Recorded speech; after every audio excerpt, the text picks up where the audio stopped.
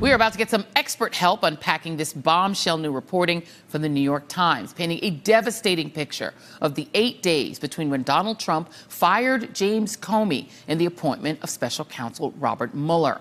We now know that time included the FBI deciding to open a counterintelligence investigation into Donald Trump himself to determine whether the President of the United States was secretly working on behalf of Russia. Quote, the decision to investigate Mr. Trump himself was an aggressive move by FBI officials who were confronting the chaotic aftermath of the firing of Mr. Comey and enduring the president's verbal assaults on the Russia investigation as a witch hunt.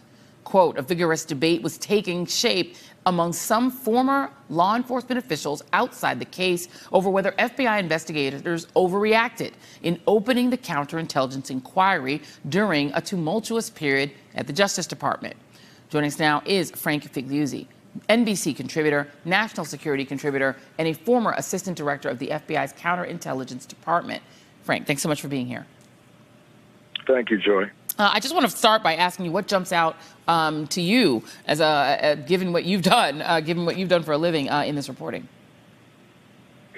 So there's a couple of, of, takeaways here. I think it's important to talk about what this reporting uh, says and what it doesn't say. What it says, if accurate, is that the impetus of the special counsel inquiry, or what turned into the special counsel, was not necessarily just figuring out the degree to which the Russians influenced the campaign, but rather now we're faced with kind of a worst case scenario that we've all been talking about, which is the possibility that the president had somehow been co opted and was in the pocket of the Russians. So let's understand what that what that means. It it means that the FBI had at a minimum a threshold to open a preliminary inquiry, which we call reasonable suspicion as a threshold.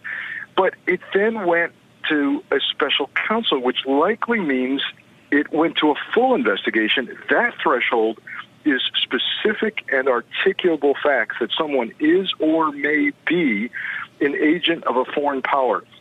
And that would not be done in a vacuum. That would have gone across the street to Department of Justice. It would have been approved. And then, of course, we know that the DOJ said, you know what, we need a special counsel inquiry. So now we're seeing what the real origin of this was. Now, here's what it doesn't say, Joy. It doesn't say that they proved it. It doesn't say that that aspect of the case is still running. Um, and we, we don't know whether it was a PI, preliminary inquiry, or a full. So there's some unanswered questions here, but it is really sobering to think that maybe, if this reporting is right, that Donald J. Trump, that name was in the header, in the subject title of a counterintelligence investigation.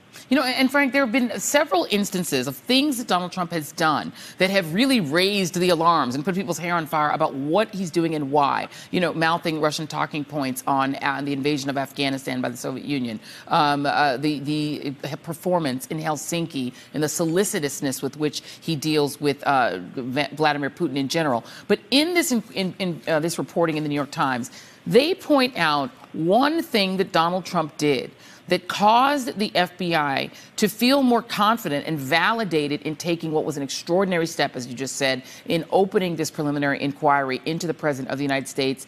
And that was the visit by Russian officials who were let into the Oval Office shortly after the firing of Mr. Comey, in which Donald Trump, there's a picture of it right there, where the report, where, where there were not Americans in the room, I guess, that were monitoring what was being said, in which he supposedly told these men from the Soviet Union, or from the Russia, from sorry, from Russia, I just fired the head of the FBI. He was crazy, a real nut job according to a document summarizing the meeting. I faced great pressure because of Russia. That's taken off. What do you make of that? Does that make you rethink that Oval Office meeting?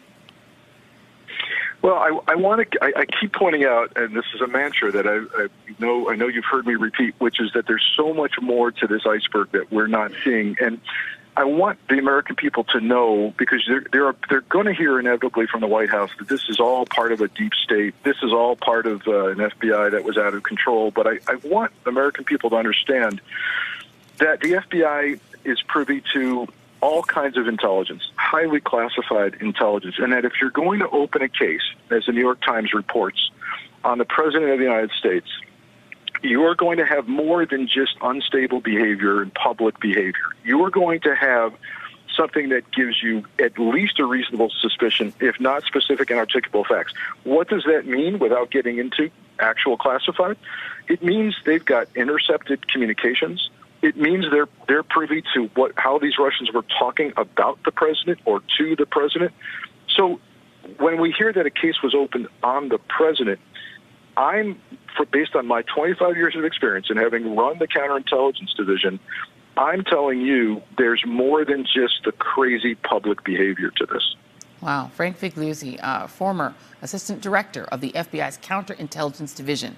Thank you so much for making some time to be here tonight. Thank you. Thank you, Joy. Thank you. Wow, what a Friday night. Much more to get to. Much more to get to when we come back.